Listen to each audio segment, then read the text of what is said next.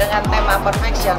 Itu para siswa berusaha untuk mengadaptasikan kata fashion itu menjadi suatu karya yang sebetulnya tidak ada batasannya dan penilaian orang juga akan berbeda. Perfect itu sampai di mana walaupun kita tahu nanti perfect. Jadi sebetulnya tidak ada nilai tertentu untuk satu uh, yang dikata kesempurnaan tetapi saya cukup bangga ada beberapa anak yang ya mereka sudah berusaha dan hasilnya sangat positif